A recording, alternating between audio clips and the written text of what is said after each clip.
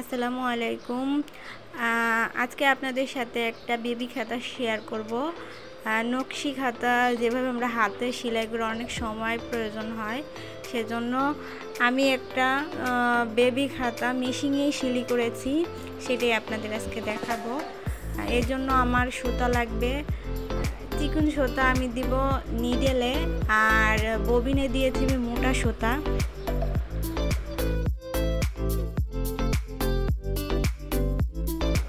আসলে আমার পুরো ভিডিওটা দেওয়া হয়নি, আমি মাঝখান থেকে ভিডিওটা দিয়েছি।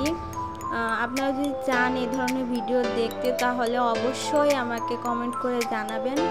আমি ভিডিও দেওয়ার চেষ্টা করব ইনশাল্লাহ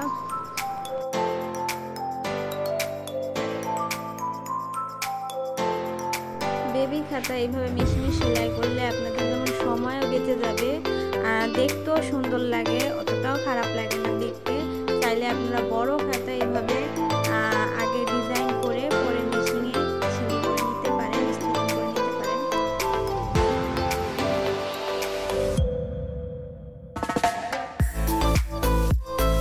এই ধরনের ভিডিও যদি আপনারা দেখতে চান, অবশ্যই আমাকে জানাবেন। শুরু থেকে আমি পুরোটা ভিডিও দেওয়ার চেষ্টা করব।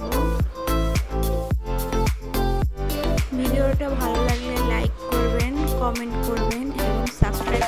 পাশে থাকবেন আল্লাহ হাফেজ